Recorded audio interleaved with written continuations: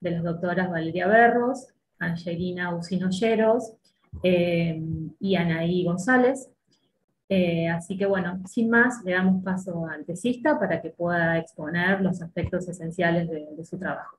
Marcelo, adelante cuando quieras. Bueno, perfecto. Bueno, mm, muchas gracias eh, por habilitar este espacio, que para mí la verdad es que es como muy fructífero. Eh, leí con atención las devoluciones que fueron realizando, los predictámenes, y elegí bueno, hacer un recorrido para esta presentación, tomando en cuenta eh, los puntos, eh, la bibliografía, los señalamientos que fueron dejados a modo de sugerencia en esos eh, predictámenes, a, fin sobre todo me parece de, bueno, de tratar de seguir indagando, seguir dialogando sobre el tema que nos está convocando, que bueno, es el, son los movimientos sociales en defensa de los animales, el caso de las asociaciones Canadian Boys for Animals, Grupo Mundo y Huellitas en la ciudad de Paraná. Entonces, para comenzar, bueno, eh, yo em, tomé, a ver, ahora, ahí está, em, la obra de Coetze, Elizabeth Costello, eh, para de algún modo, bueno, abrir este diálogo eh, Elizabeth Costello, eh, como la define su, hijo en este texto, eh, parece digamos, no, estar en un campo definido, dice, bueno, como hay como una separación entre escritores y pensadores, pero dice, bueno, en realidad, ¿qué es ella? No? digamos, ¿es el noche, es la noche o el día? Eh, es un ave. Eh, y entonces, bueno, a partir de esa definición, em, tomé, bueno, un fragmento donde ella comenta en una de sus conferencias, eh, porque en realidad Elizabeth Costello, bueno, es llamada a dar conferencias a partir de una obra eh, importante que escribió hace mucho tiempo atrás y en sus conferencias irrumpe con temas que desconciertan al auditorio. Eh, entonces, bueno, aparece esta figura como muy desobediente de, su presencia en esos espacios. Eh, y Coetze recupera acá dos conferencias que ella da dedicada a los animales. Una se titula Los animales y los filósofos y la otra Los animales y los poetas. Eh, entonces, bueno, yo desde la primera conferencia, Los animales y los filósofos, tomé esto que ella va a ir eh, desarrollando referido a, bueno, eh, ¿cómo es ser un murciélago? Entonces em, ella dice, ¿cómo es ser un murciélago? Antes de contestar una pregunta así, sugiere Nagel, que es el filósofo que ella va a tomar, eh, necesitamos poder experimentar la vida de un murciélago a través de las modalidades sensoriales de un murciélago, pero se equivoca, o por lo menos nos está desencaminando. Ser un murciélago vivo es ser en plenitud.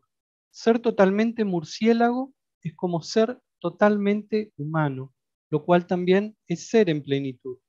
Tal vez sea ser murciélago en el primer caso y ser humano en el segundo, pero eso son consideraciones secundarias.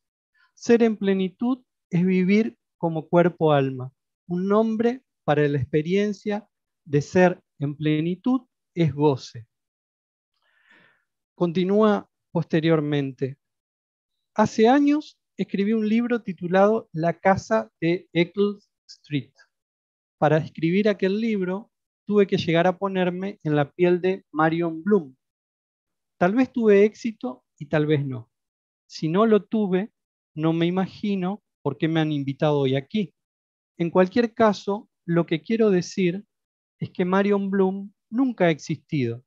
Si puedo ponerme en el lugar de un ser que no ha existido nunca, también puedo ponerme en el lugar de un murciélago, de un chimpancé o de una ostra, de cualquier ser con el que comparta el sustrato de la vida. Eh, esta cita de Elizabeth Costello me pareció como muy interesante para abrir a la pregunta sobre qué es un animal, ¿no? Recuperar esta, e, este debate que ella tiene con este filósofo. Eh, y entonces em, traté de, leer, bueno, las, producciones que hizo Celeste Medrano eh, a partir de esta pregunta, ¿qué es un animal? Celeste Medrano eh, retoma el pensamiento de Tim Ingold, en principio, ¿no? en, este, en este célebre también libro donde él hacía esta pregunta, ¿qué es un animal? Y a partir de su propia producción, de su propio recorrido, donde ella también ha investigado y trabajado sobre eh, esta zoología com eh, en múltiples facetas, eh, trata de responder, de, abordar esta pregunta referida al animal. Obviamente en este camino también está el pensamiento de Deleuze, el pensamiento de Derrida, también el pensamiento de Georges Chopotier, que también se pregunta qué es un animal. Y quizás acá podríamos introducir eh, un, plural al referirnos a qué es un animal, porque eh, Deleuze dice, bueno, ¿no? Este, en, el célebre abecedario, ¿no? Habla de la garrapata, bueno, y el mundo de la garrapata. ¿Y cuál es y, la zoología comprende desde la, desde la garrapata al elefante. Entonces, eh, en realidad, ¿de qué hablamos cuando hablamos del animal en singular? Habría que introducir la pregunta por las pluralidades y de algún modo eh, es lo que hace eh, celeste cuando dice el animal y su par, el humano, se podría componer como un verbo relacional de evento, donde eh, se enfatiza que es menester quedarse con el problema, retomando la premisa que formula Haraway, y que este sea un movimiento posibilitador de todos los otros, una enseñanza antes de forma que de contenido la predisposición a la creatividad como apertura a mundos otros, siempre mucho más que humanos.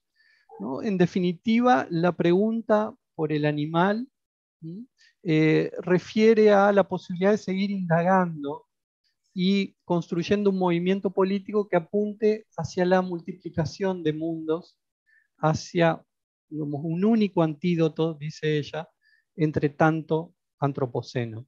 ¿no? En realidad, bueno, lo escribió en colaboración con Van den Berden eh, en el año 2018, a, esta obra que es un animal, que es un, conjunto de artículos importantes.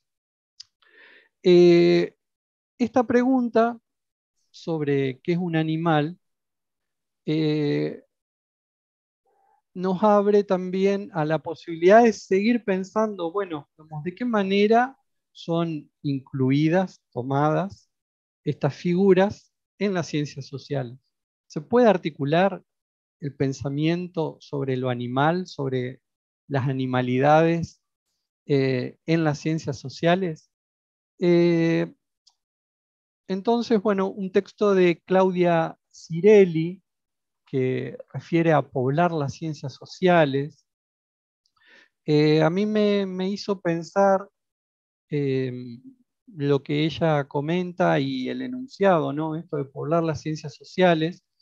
en relación a este texto también canónico de Wallerstein,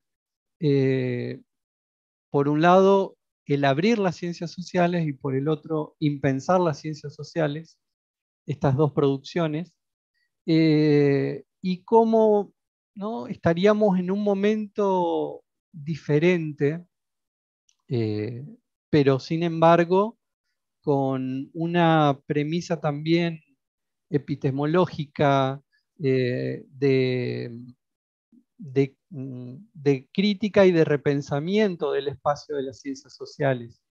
Eh, donde, bueno, como eh, Cirelli refiere a un repoblamiento de las ciencias sociales a partir de la obra de Houdart y Thierry, eh, donde ella, apuntando a Latour y de Escola, habla de las entidades eh, naturales o artificiales que han sido definidas como no humanas. Animales, objetos, plantas, moléculas, saberes. Eh, y cómo estos, eh, estas entidades... ¿sí? Perdón, no te quiero interrumpir. No se están pasando las diapositivas. Ah. No se están viendo. Sería bueno porque ya que eh, donde... No sé si las estás marcando y nosotros no las vemos o, quedaron suspendidas. Ah, yo las voy viendo, por eso no, vemos la portada. Eh, a ver. Voy a. Ahí. Sí. Ahí se ven. Sí, ah, sí, que es un animal. Sí. Ah, bueno. Eh, entonces, bueno, eh, eh, la, anterior la vieron? no, no se eh, vio, pero sí, para ah, no perder el tiempo, te fuimos escuchando, así que quédate donde. Elizabeth Costello, ¿cómo es ser un murciélago? ¿Qué es un animal? Eh, la definición de animal de Medrano y Van den Belden. Y ahora estábamos acá, ¿no? Claudia Cirelli eh, poblar las ciencias sociales. ¿Lo están viendo ahí? Sí, perfecto. Ah, bueno. Gracias. Em, entonces, bueno, eh, ¿cómo pensar a estas entidades no humanas ¿no? Eh, como agentes en interacción, agentes que tienen una, un intercambio constante con los no humanos, contribuyendo a ser lo que son. Eh, entonces, vamos, hay ahí una clara asociación con esta pregunta que, formulaba eh, Medrano referida, con esta pregunta y propuesta eh, referida al animal. El animal no puede pensarse tampoco, o las animalidades no pueden pensarse, si no es a partir de esta relación eh, de esta relación con, lo humano. Em, em, donde esta idea, esta operación de repoblar las ciencias sociales, eh, permite explorar, dice Cirelli, las relaciones que los individuos mantienen con diferentes entidades no humanas para una mejor comprensión de la sociedad puesto que la realidad humana está influenciada y se construye a partir de la apropiación y capacidad de asirse de los diferentes entornos que la rodean. Eh, esto es interesante también porque, bueno, a mí me gusta la ciencia ficción y en, eh, Blade Runner, que responde, bueno, a una obra eh, que en realidad se llama Los sueñan los androides con ovejas mecánicas, ¿no? Aparecía esta figura del androide, del cyborg, eh, que es también lo que eh, recupera Haraway con su manifiesto cyborg. Y también si pensamos en Viveiros de Castro, que es otra fuente que también, eh, vamos, se relaciona con Descola y se relaciona con Medrano. Este trabajo que hace Viveros de Castro sobre el perspectivismo, el punto de vista, eh, y como también en ese espacio se construyen las relaciones entre eh, muertos y vivos, en esto de estas entidades eh, naturales, artificiales, o habría que pensar cuáles otras también pueden constituir este mundo para poblar las ciencias sociales. en definitiva, Cirelli lo que que apunta es a pensar em, cómo también el pensamiento occidental se ha constituido a partir de una dicotomía, podríamos decir estructurante o estructural, que es la de naturaleza-cultura. Em, a partir de la revolución industrial, comenta ella, em, retomando a de Escola, eh, aparece un modo de concebir a la naturaleza que va a entender a esta como un recurso infinito, que ese recurso infinito propone o permite un crecimiento infinito eh, y que ese crecimiento infinito va a estar garantizado por un perfeccionamiento infinito de la técnica o de las técnicas. Eh, entonces, esa mm, dicotomía naturaleza-cultura es lo que podríamos eh, entender que es lo que eh, está marcando hoy la crisis ecológica y planetaria que estamos sobrellevando.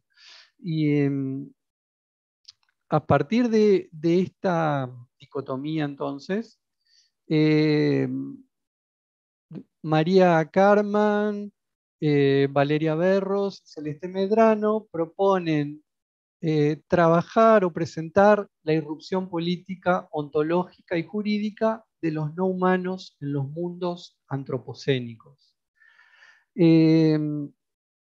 Los trabajos que ellas van a presentar en ese dossier número 14 eh, van a transitar enfoques conceptuales innovadores o bien perspectivas que son revisitadas actualmente bajo nuevos ángulos, tales como el giro ontológico, el poshumanismo, el biopoder, las biopolíticas, el perspectivismo, el giro animal, el giro ecocéntrico, el ecofeminismo.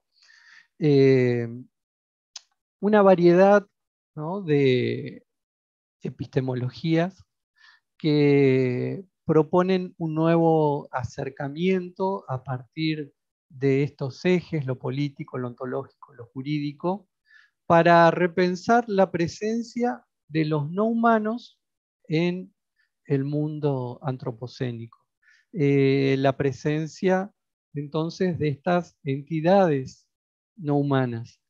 Eh, Ahora bien, podríamos, me parece, mm, también eh, em, apuntar a que todas estas reflexiones, o bueno, sin totalizar, sin universalizar, pero una gran parte de estas reflexiones están eh, em, pensando en un horizonte eh, o están siendo posibles a partir de un horizonte que es el del antiespecismo.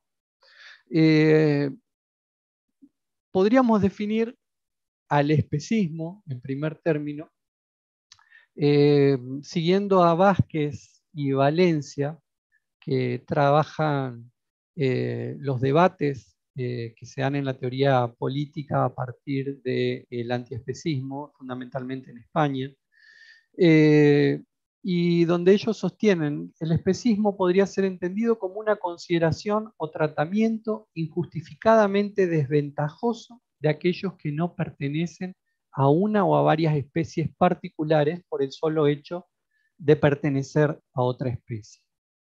Y continúan. Eh, el especismo ha sido ha sido percibido como parte de un antropocentrismo o androcentrismo mucho más extenso, que igualmente discrimina a mujeres, minorías étnico-raciales o clases sociales bajas.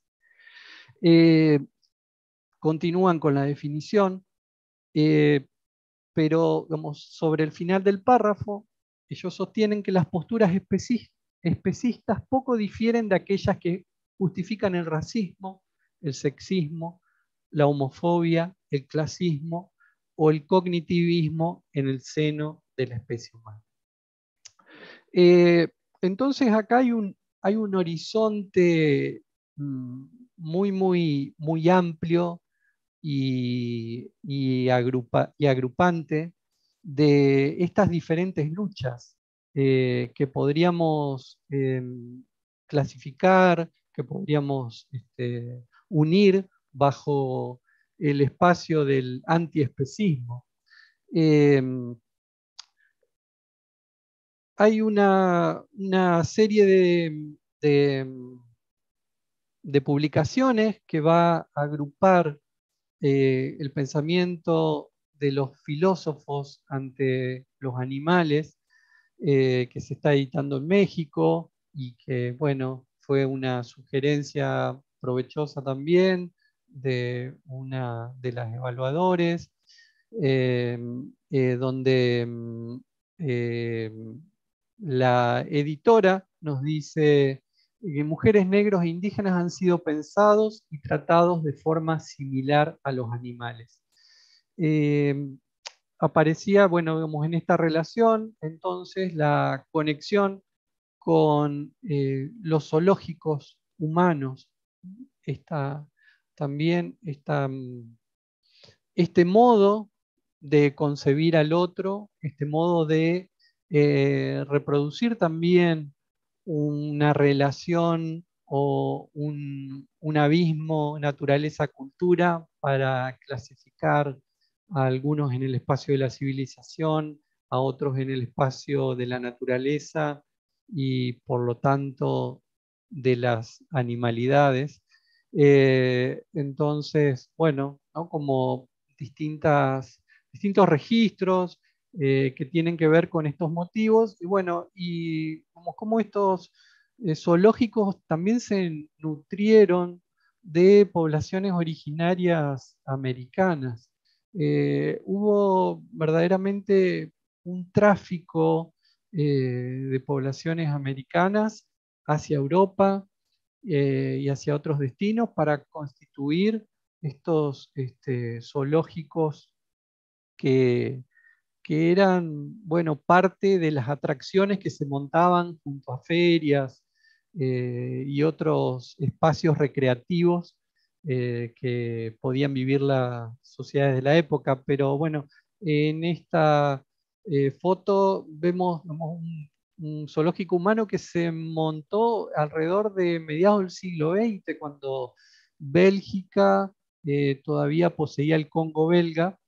Y bueno, eh, a partir de, habitantes del Congo, montó en Bruselas, en la capital, un zoológico humano.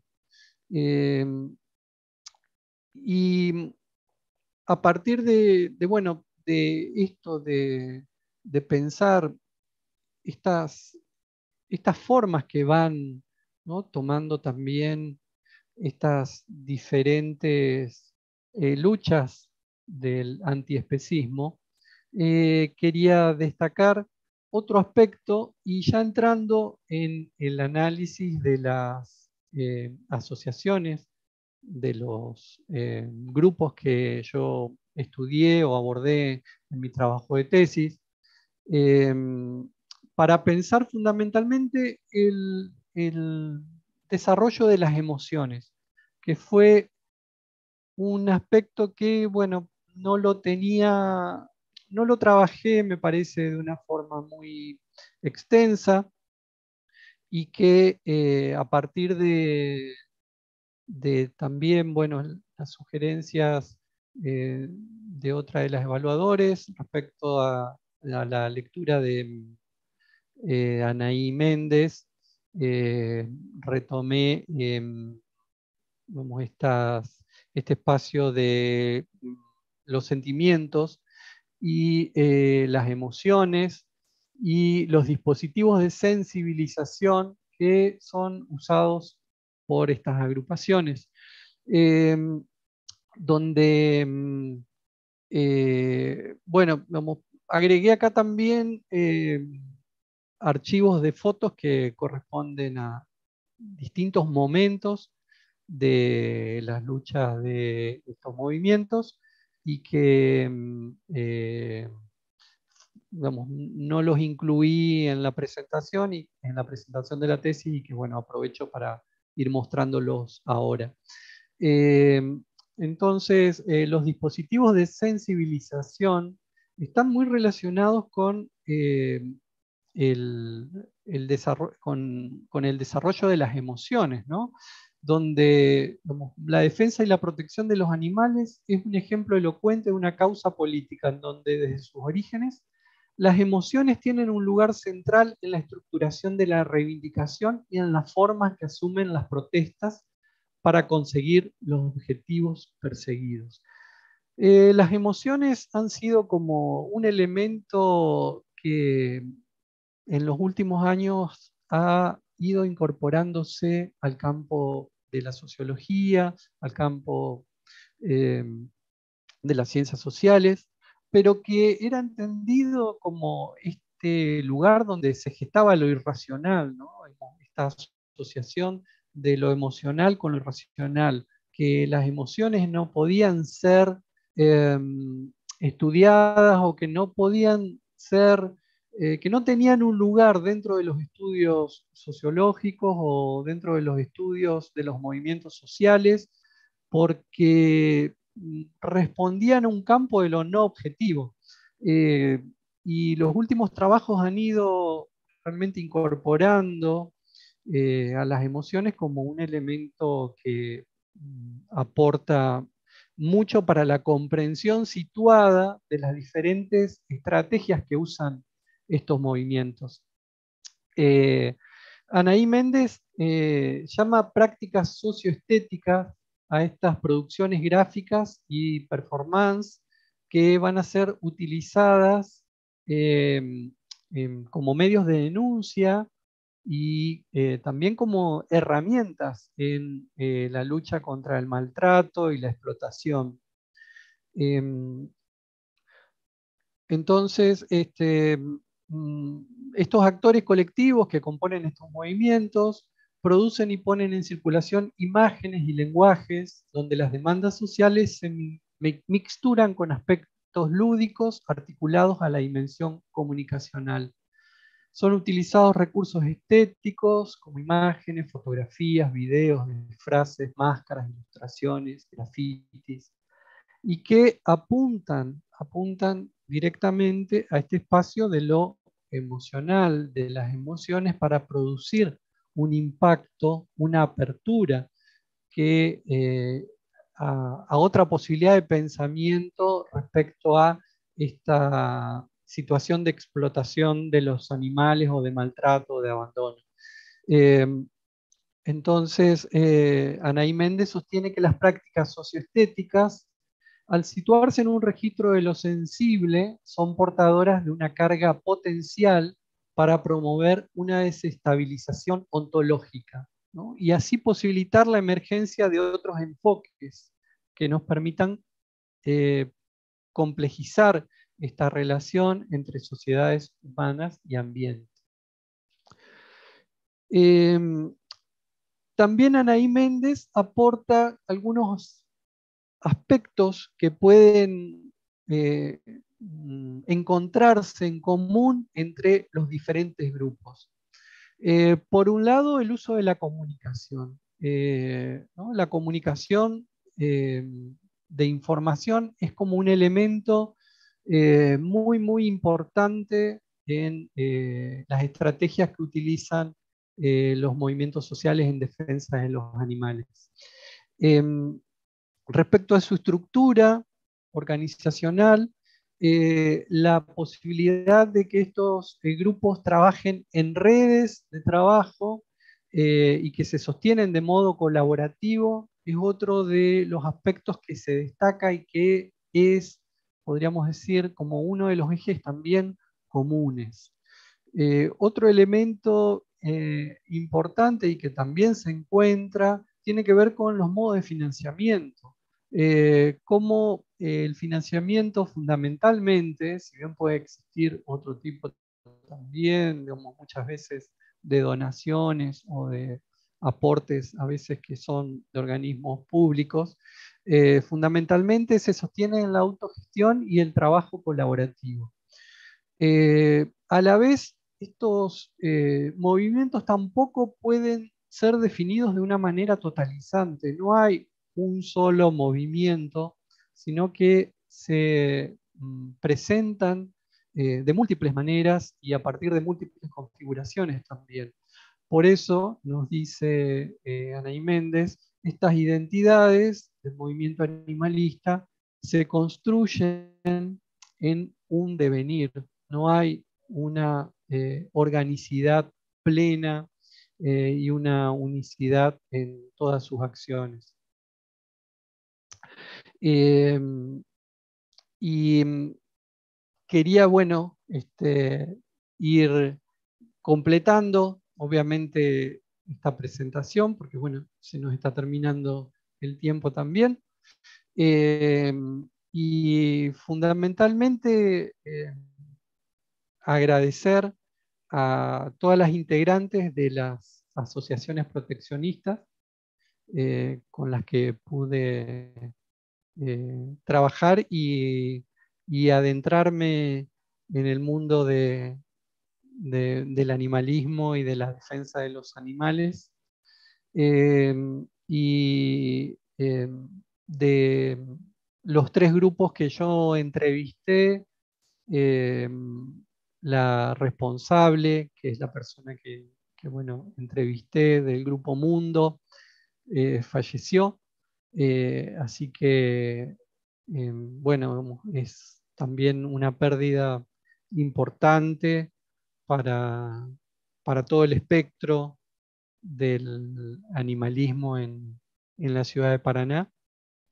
Y mm, eh, de alguna manera eh, vemos que estas, estas características que estaban presentadas eh, a partir del trabajo de Anaí Méndez, bueno, son las que siguen sosteniendo el trabajo de estos movimientos y eh, a la vez se produce una renovación constante. Esto es algo también como notable porque hay como un trabajo, podríamos decir, eh, casi celular. Por un lado atomizado, pero por el otro también celular, porque hay múltiples grupos y hay una presencia importante de estos grupos en la sociedad civil y hay una presión también para ir logrando una ampliación de derechos y de eh, mayor responsabilidad a partir de diferentes campañas, de diferentes formas de, acercamiento eh, a la problemática animal. Eh, así que bueno, como, agradecería también este, obviamente a mi director de tesis, eh, Sebastián Román, a mi codirectora, Susana Valentinus, por todo el tiempo que le dedicaron a este trabajo, por sus lecturas, por sus devoluciones, por su sostén. Eh, también a todo el equipo de la maestría en ciencias sociales, porque la verdad que para mí fue como un trabajo de ya muchos años, donde ellas eh, insistieron mucho, estuvieron muy presentes para que esto pudiera concretarse.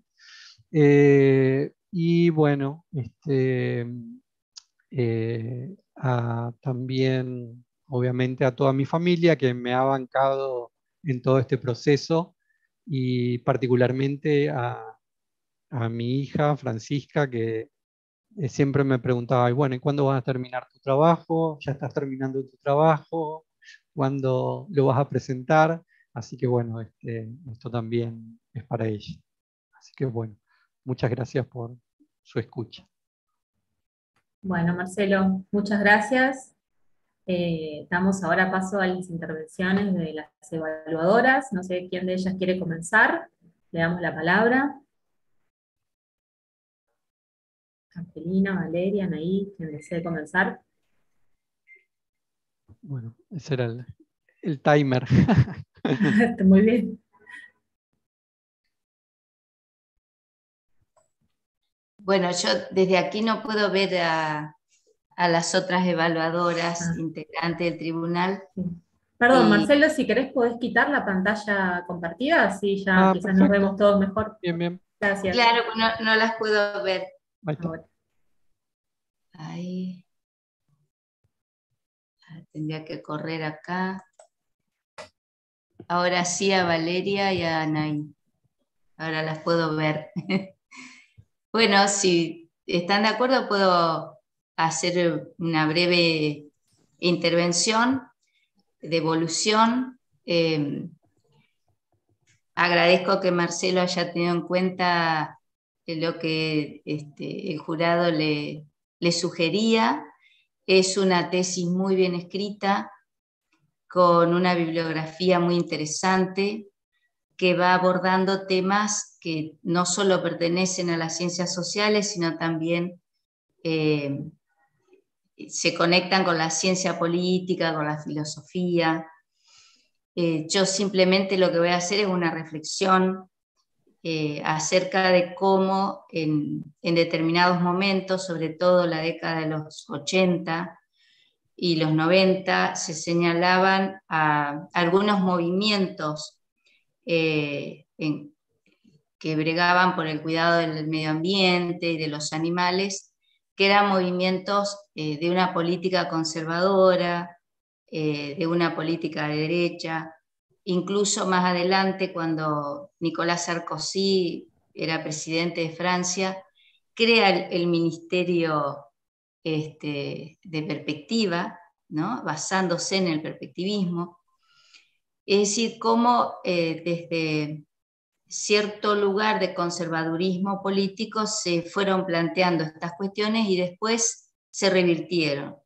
Se revirtieron en el sentido que también los movimientos sociales eh, defendían y defienden el, medio ambiente y la vida de los animales desde otra perspectiva política más eh, progresista, más de izquierda, más cercana a, una postura socialista, si se quiere. Depende lo que entienda cada región y cada país por socialismo. Pero eh, el emotivismo, por ejemplo, es una, eh, es una corriente de pensamiento ético eh, norteamericano donde plantean el énfasis en las emociones más que en la razón. Y bueno, también ahí hay, toda una propuesta acerca de las emociones racionales, no, así como no, no se separa más lo animal de lo humano y viceversa, tampoco se separan eh, la razón de las emociones, sino que se incluyen en una mirada distinta, ¿no es cierto? En, otra forma de entender el tema. Bueno, la tesis me parece original, un tema que, no es suficientemente abordado en los posgrados. Eh, y, bueno, felicitarte por, por la tesis porque realmente la, considero un aporte, aprendí mucho leyéndola y, está muy bien escrita. Eh, yo insisto con eso porque a veces eh, yo sé que hay personas que les cuesta escribir, que la escritura académica tiene también sus, sus bemoles y sus características, entonces celebro cuando leo textos que están eh, bien redactados y, que son amables al tiempo que uno le dedica a la lectura. Así que te felicito. Muchas gracias. Gracias, Angelina. Anaí, Valeria.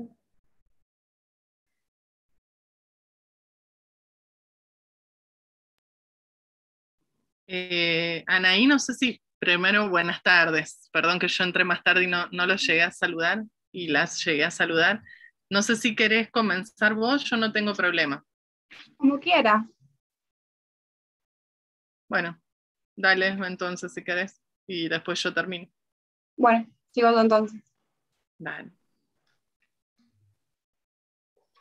Em, bueno, eh, ante todo quería felicitar a, a Marcelo eh, y agradecerle por la tesis y por el trabajo de investigación. Y tengo algunos breves comentarios y sobre todo orientados a, profundizar en el tema eh, y que espero que puedan ser útiles de cara a otro proceso de investigación.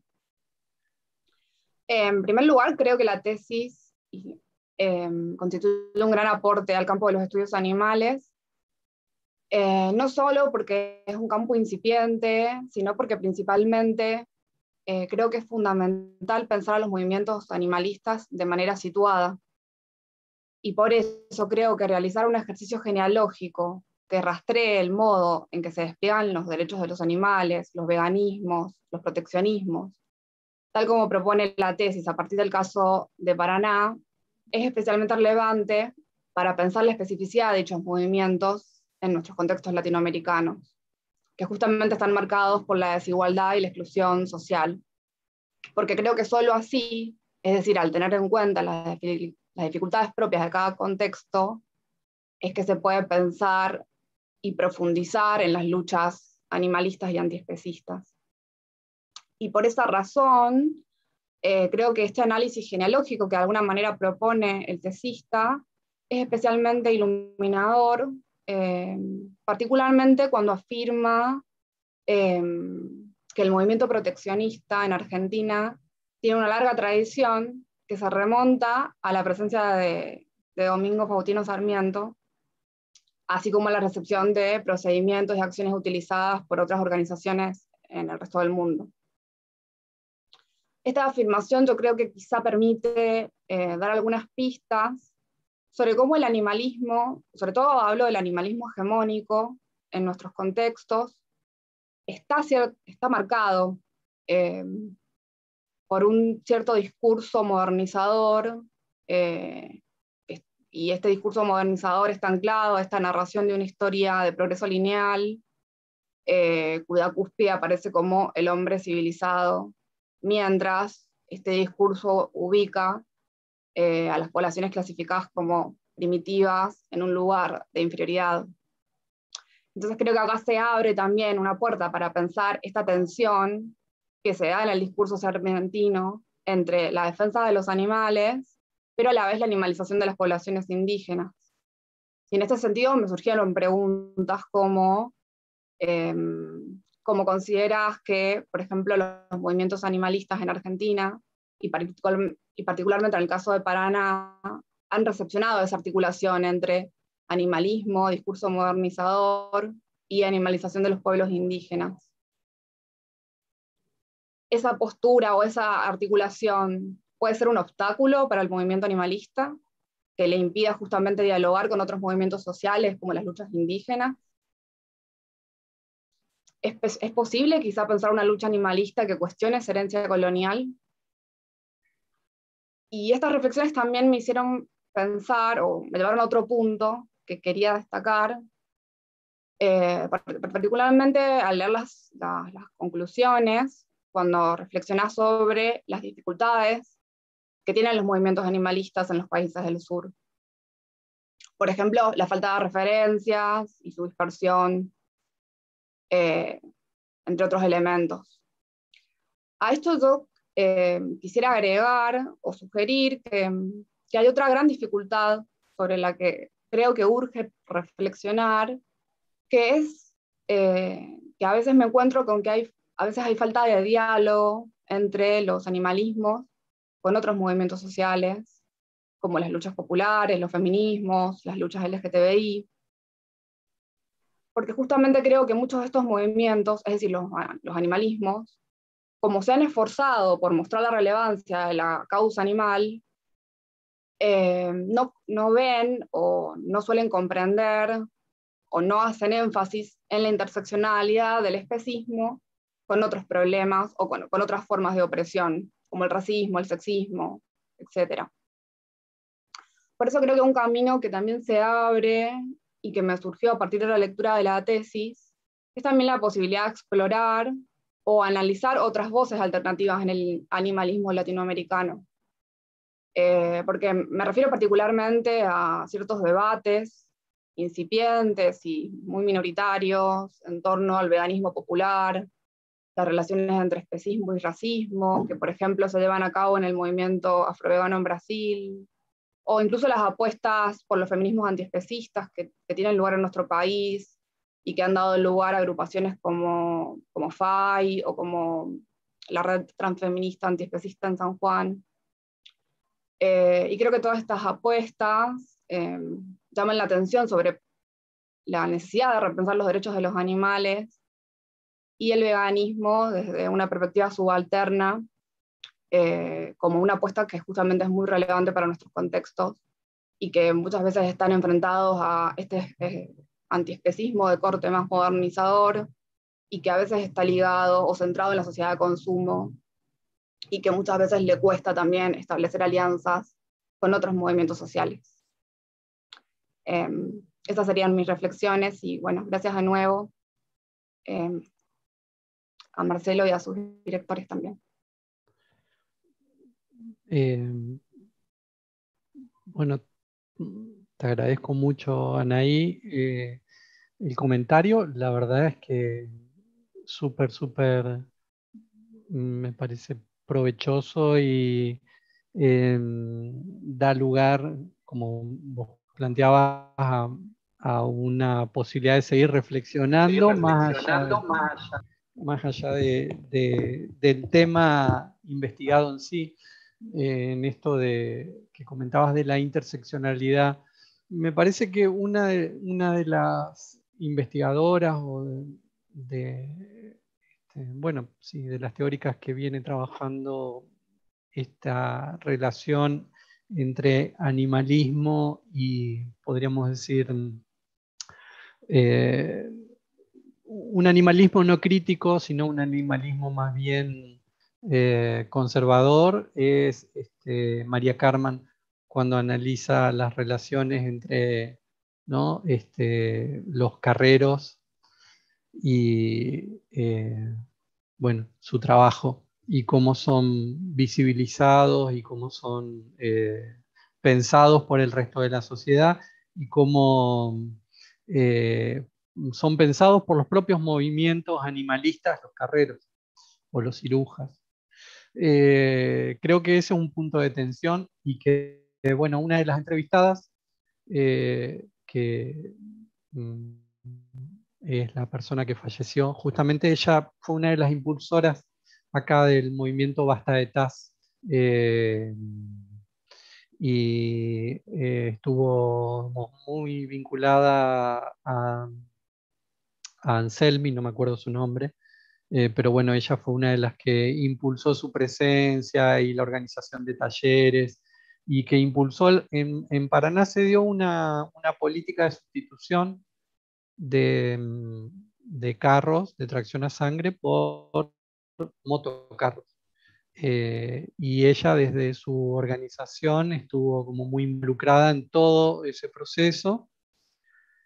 Y bueno, como cuenta justamente en una de las entrevistas, de algún modo, los, las presiones, los hechos de violencia que tuvo que vivir por parte de otras integrantes de la misma comunidad proteccionista por esa eh, inserción que ella tenía a partir de, esta política de sustitución de, de los carros.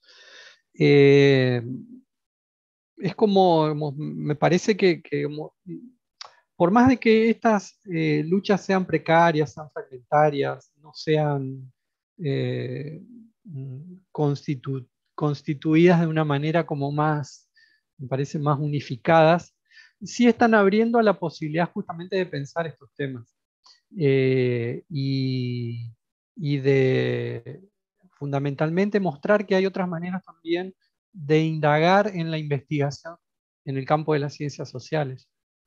Creo que ese es como el gran aporte que están haciendo los estudios animales y los animalismos a la posibilidad de pensar este, estas múltiples relaciones, ¿no? Esto que vos señalabas como la interseccionalidad. Eh, creo que se abre ahí como todavía, bueno, estamos viendo como los inicios y las posibilidades de eso.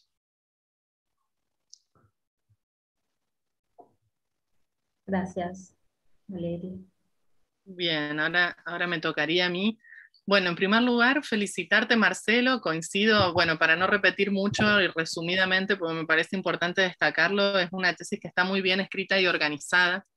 Y eso la verdad que a veces no, no abunda, cabe señalar, así que es siempre importante señalarlo, aparte, bueno, es un trabajo de mucho tiempo y para llegar a una organización y una estructura del, del trabajo en formato de tesis sabemos que es un esfuerzo grande y no siempre se logra de manera acabada, a veces queda como ahí un poco sin terminar de armarse del todo en ese, en ese formato y me parece que eso es importante siempre señalarlo.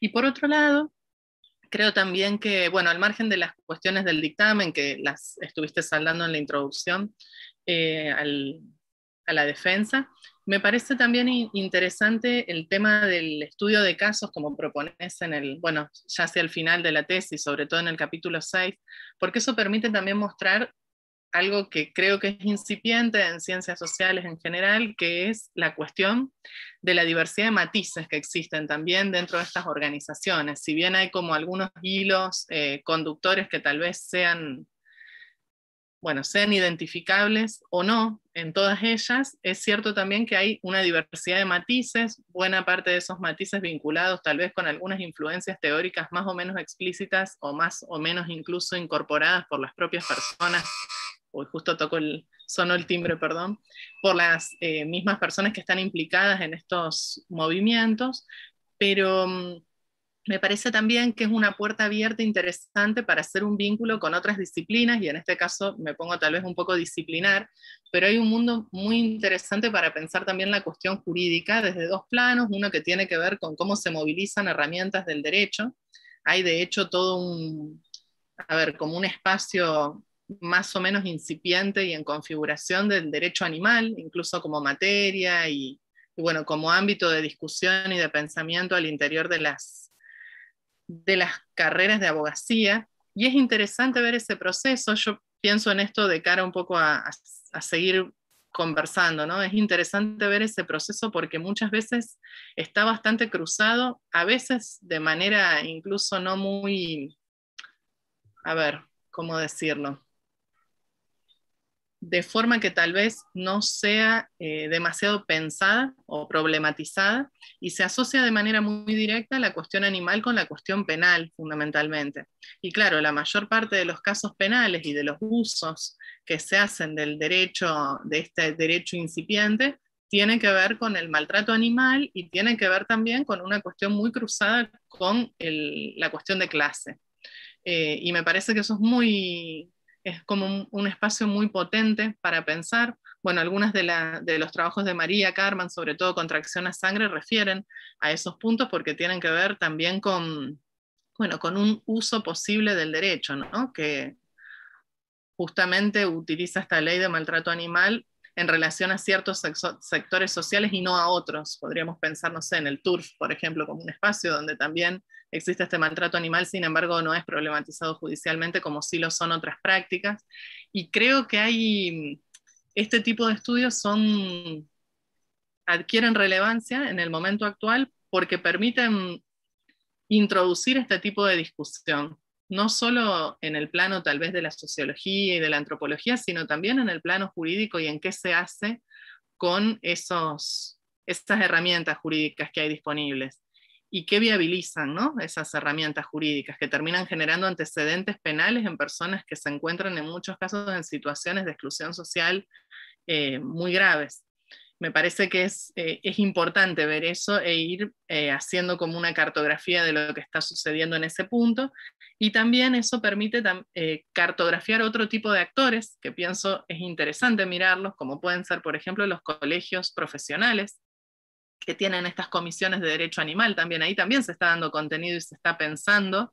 Y también se está incluso este, construyendo el proteccionismo animal es otro actor interesante que no está muy pensado, no está muy seguido, eh, porque uno normalmente piensa tal vez cuando piensa en el proteccionismo animal en más el sector eh, de las ONG o el sector de personas que se autoconvocan en determinadas circunstancias y a partir de allí surge cierto movimiento vinculado con la cuestión animal, pero también hay otros espacios institucionales donde esto se está gestando y está siendo menos, menos visto, menos visualizado.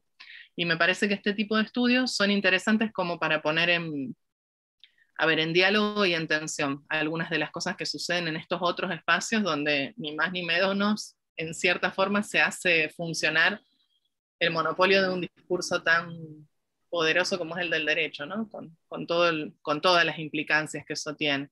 Así que en ese punto creo que me parecía interesante y esto omití hacerlo en el dictamen, de hecho, y luego de la presentación me arrepentí de haberlo puesto allí, porque me parece que es un acierto de, de pensar el tema animal a partir del estudio de casos y de la cuestión más situada, para poder también empezar a cartografiar cuáles son esos actores. Y hay unos actores que faltan y que no están siendo tan problematizados como estos y como también podríamos pensar lo mismo de cómo se configuran las cátedras y qué es lo que se, cuáles son los debates que ingresan en esas cátedras y cuáles los que no, que, que permiten más o menos interseccionalidad con otros temas, según cuál sea la mirada. Es interesante hacer ese análisis también.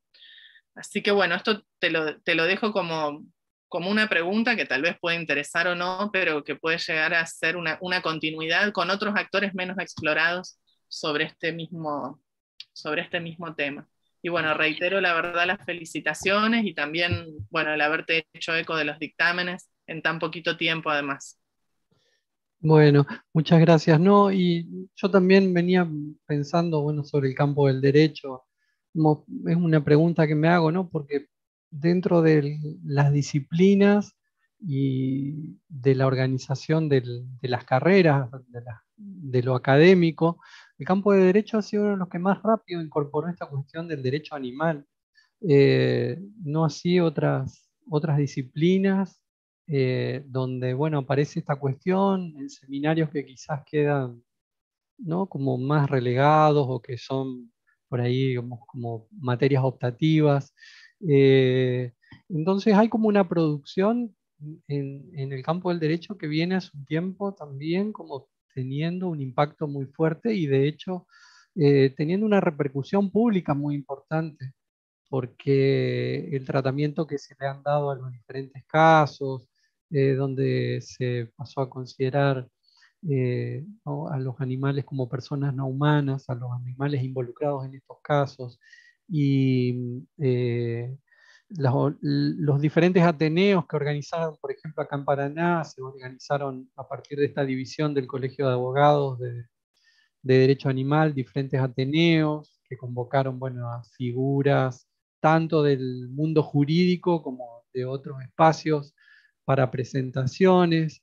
Entonces, mostrar la instalación también de una reflexión sobre el tema que eh, a mí me sorprende un poco eh, em, pensando quizás, porque bueno, justamente no soy, no soy muy cercano, eh, pienso al campo del derecho como un campo más eh, conservador, pero en realidad hay como una dinámica muy fuerte que está albergando a todas las cuestiones vinculadas al derecho animal y que produce mucha adhesión, sobre todo de, los graduados más jóvenes, de los colegiados más jóvenes muchas veces, y que se incorporan a, estos, debates. Entonces, bueno, sí, es como eh, algo que, me parece que hay que considerar dentro del campo de los actores. Y bueno, y en esta multidimensionalidad, lo que también señalaba respecto a, bueno, el, y que se vincula con lo que también comentaba Anaí respecto a bueno, esto, estas, estas formulaciones de, lo civilizado, ¿no? ¿De qué lado queda el civilizado? el civilizado es el que respeta a los animales, por lo tanto, eh, los carreros, los cirujas no serían civilizados porque eh, los maltratan, los usan, eh, los abusan de esos animales para su, para su trabajo, los hacen trabajar. es, como, es como un debate, sí, y bueno, y me parece que en una sociedad justamente empobrecida como la nuestra y donde este tipo de situaciones es como parte del paisaje urbano, eh, tristemente parte del paisaje urbano, eh, son temas que, bueno, sí, están en el debate diario.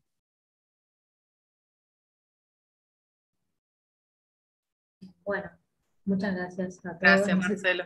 Ah, bárbaro, gracias. Eh, vamos a quedar entonces un momento con las evaluadoras para hacer la redacción del dictamen. Marcelo, Susana y Sebastián van a quedar en otra sala, en sala de espera, eh, y bueno, nos reencontramos en un momento entonces. ¿Cómo pasamos a la sala de espera? Ahora eh, Ignacio de Informática los, ah, ubica. no, no tienen que hacer nada ustedes.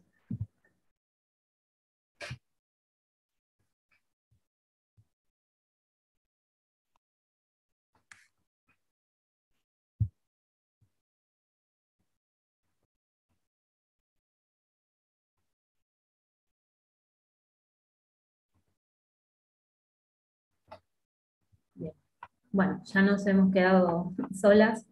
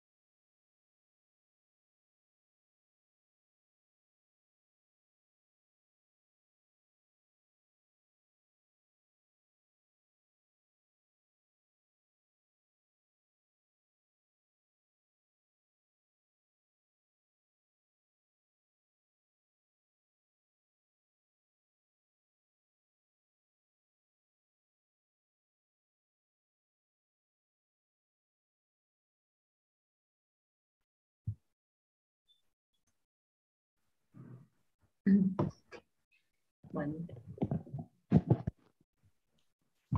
Vamos Susana.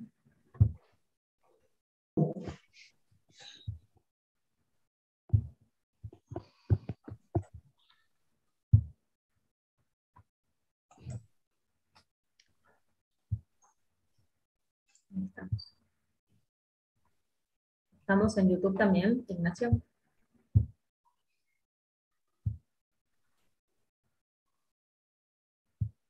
Sí, perfecto. Bueno, entonces procedemos a la lectura del acta del dictamen. En la ciudad de Santa Fe, a los 21 días del mes de febrero de 2022, siendo las 18 horas, se constituye el jurado de tesis integrado por las doctoras Valeria Berros, Anaí González y Angelina Usinoyeros a los fines de escuchar la exposición oral del maestrando Marcelo Bechara en el acto de defensa de su tesis Movimientos Sociales en Defensa de los Animales, el caso de las asociaciones Canadian Boys for Animals, Grupo Mundo y Huellitas en la ciudad de Santa Fe, dirigida por el doctor Sebastián eh, Román, eh, codirigida por la magíster Susana Valentinus y presentada en el marco de la maestría en Ciencias Sociales de la UNL. Eh, luego de escuchar al maestrando, las integrantes del jurado realizan las siguientes consideraciones. La tesis aborda una temática original y constituye un aporte interesante al campo de los estudios animales. El trabajo muestra una estructura organizada y coherente en la cual aborda los estudios de caso que permiten ver los matices al interior de las organizaciones en defensa de los animales. La bibliografía utilizada es actual y pertinente. En cuanto a la exposición oral, la misma fue clara y dio cuenta de las observaciones señaladas en los predictámenes, ampliando el espectro bibliográfico según las sugerencias de las evaluadoras. Después de escuchar los aportes del jurado, el tesista respondió con solvencia a los comentarios recibidos. En mérito al expuesto y por unanimidad, el jurado otorga la calificación de 10 sobresaliente. El secretario de posgrado de la Facultad de Ciencias Jurídicas y Sociales firmará el acta de examen en representación de los miembros del tribunal que participaron de forma remota. No siendo para más, el jurado da por finalizadas sus deliberaciones, siendo las 19 y 20 horas. Bueno, Marcelo, muchas felicidades. Bravo. Felicitaciones. Felicitaciones, Marcelo. Felicitaciones. Gracias. La verdad que muy, muy honrado, muy feliz. Eh, aparte muy, siempre tenía la, tenía la pregunta, bueno, de justamente una lectura especializada eh, con este grupo de evaluadoras en que iba a derivar, eh, pero eh, la verdad que, bueno, este, muy, muy contento, les agradezco muchísimo justamente esto, el, el aporte que hicieron para mí fue muy importante y, bueno, me permite, supongo que seguir trabajando en el, tema. Eh, lo único que iba a decir respecto a la lectura del acta es que dice en Santa Fe y eh, debería decir en Paraná cuando... Sí, lo que pasa es que la eh, sede de la Facultad de Ciencias Jurídicas y Sociales, donde la carrera está sentada, es Santa Fe. Perdón, pero el, el tema de la tesis. Ah, pero, no, en la ciudad de Paraná. Ah, si lo leí ah. mal, lo leí mal yo, pero ah. está el título, sí, dice bien. Sí, está bien. Perdón. Es la emoción. Sí, las emociones. Bueno, muchísimas gracias a todos, a las evaluadoras, muchas gracias por la lectura atenta y por la disposición de siempre, por su tiempo. Eh, así que bueno, muy agradecidos por parte de la carrera eh, y bueno, seguiremos eh, en contacto y Marcelo, bueno, a celebrar y a descansar por tu mérito. muchísimas gracias. una alegría, una alegría conocer a, las, compañeras evaluadoras y, y, a Karina y reencontrarme con Susana y, Sebastián. Lo mismo, comparto, comparto las palabras de Angelina. Bueno, yo también, agradeciendo y eh, con la gran alegría de haberlo acompañado a Marcelo ya en calidad en realidad de colegas y pares en esta etapa final que a veces las, ¿no? las maestrías, los estudios de posgrados son iniciados en un momento histórico y terminados en otro, con el transcurrir de la vida, ¿no? Y entre medio de una pandemia, así que también eh, compartir eh, esta alegría y esta emoción con Marcelo en este cierre de ciclo de tantos años, además que nos conocemos, eh, haber trabajado tanto en la carrera de comunicación social de la Universidad Nacional de Entre Ríos, allá en la teoría sociológica, en historia de las ideas, antropología, eh, así que ha sido en, el colectivo de graduados, en la acción de gestión de política institucional, así que tenemos muchos años desde los 90 recorriendo el espacio universitario con, con, bueno, no solo grandes debates teóricos y conceptuales, sino con la cercanía de, del afecto, que no siempre se puede lograr también en este ámbito universitario.